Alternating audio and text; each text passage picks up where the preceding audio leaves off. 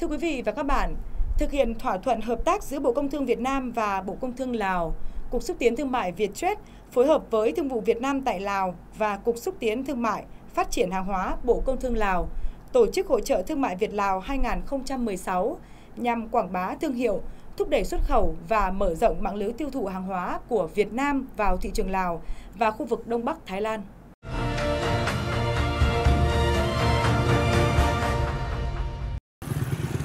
Trình xúc tiến thương mại quốc gia 2016, hội trợ năm nay thu hút hơn 200 doanh nghiệp đăng ký với khoảng 400 gian hàng được trưng bày. Trong đó, Việt Nam có 120 gian hàng tiêu chuẩn của 98 doanh nghiệp chất lượng, thương hiệu và uy tín. Trưng bày chủ yếu các sản phẩm dược và thiết bị y tế, máy móc công nghiệp, xây dựng và vật liệu xây dựng, nông lâm, thủy hải sản và thực phẩm chế biến, hàng may mặc và thời trang, thủ công mỹ nghệ và trang trí nội ngoại thất, nhựa và sản phẩm tiêu dùng. Chúng tôi đã theo ra tham gia những hội trợ giữa Việt Nam với Lào từ năm 2011 và đây cũng là cơ hội tốt để chúng tôi mở rộng, quảng bá thương hiệu sản phẩm. Cũng qua những hội trợ này, chúng tôi đã tìm được những đại lý bán hàng, cung cấp sản phẩm của công ty chúng tôi đến thị trường Lào à, và đến nay chúng tôi đã đạt được doanh thu đến thị trường Lào lên đến hàng chục tỷ đồng một năm. Tham gia vào hội trợ đây thì mình được giới thiệu sản phẩm cho đến ờ, người tiêu dùng Lào và trực tiếp đến người tiêu dùng Lào thì sản phẩm chúng tôi sang đây thì được ờ, khách hàng ờ, bên Lào là đón nhận ờ, rất là tốt và chúng tôi đã tham gia xây dựng được hệ thống phân phối, có nhà phân phối bên này, có hệ thống đại lý. Mục đích của hội trợ Việt Lào 2016 là để thực thi cam kết hội nhập kinh tế quốc tế của chính phủ Việt Nam, thúc đẩy xuất khẩu, mở rộng mạng lưới tiêu thụ hàng hóa của Việt Nam vào thị trường Lào và khu vực Đông Bắc Thái Lan tạo môi trường để giới thiệu tiềm năng thế mạnh của doanh nghiệp trong các ngành kinh tế của Việt Nam, giới thiệu môi trường kinh doanh, đầu tư và tìm kiếm cơ hội đầu tư tại Lào, quảng bá hình ảnh quốc gia và doanh nghiệp Việt Nam. Trong những năm qua thì cái xúc tiến thương mại đặc biệt là ờ, hội trợ thương mại ờ, Lào Việt Nam được tổ chức thường niên tại Lào thì đã đóng góp rất nhiều cho cái việc phát triển quan hệ thương mại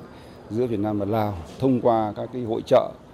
triển lãm của hàng Việt Nam tại Lào thì các doanh nghiệp đã tìm ờ, được nhiều các đối tác đại lý rồi nhà phân phối.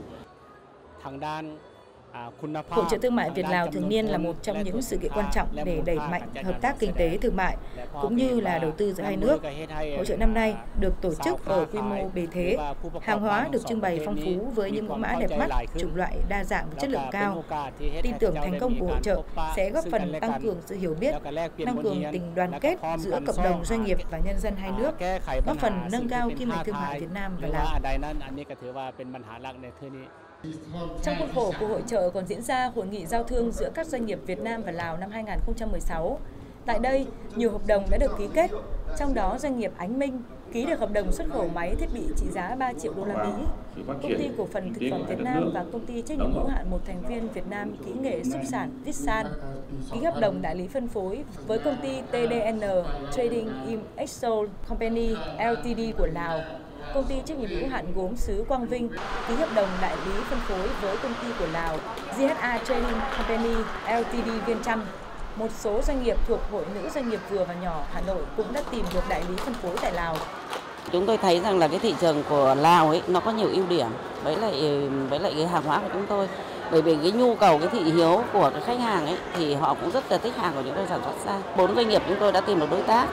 đấy, và hiện nay là các doanh nghiệp là đang hiệp thương, thỏa thuận để tìm các phương thức bán hàng, phương thức thanh toán, làm thế nào để cho hai bên đến với nhau.